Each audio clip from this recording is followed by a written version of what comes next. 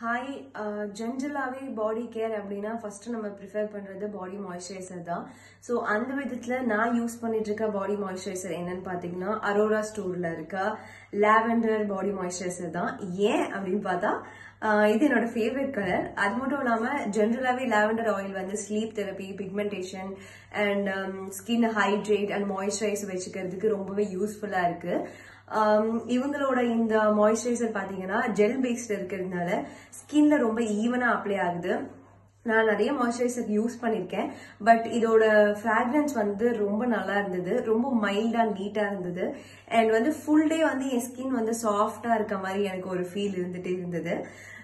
இது மட்டும் இல்லாமல் இவங்க கிட்ட வந்து chocolate flavour saffron flavour and tea tree oil இந்த மாதிரி நிறைய ஃப்ளேவரில் பாடி மாய்ஸ்சரைசர் வச்சிருக்காங்க.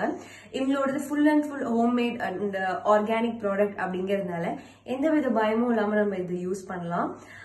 ஸோ இவங்க கிட்ட இது மட்டும் இல்லாமல் நிறைய skin care and hair care ப்ராடக்ட்ஸுமே இருக்கு. Just you try it definitely you will love it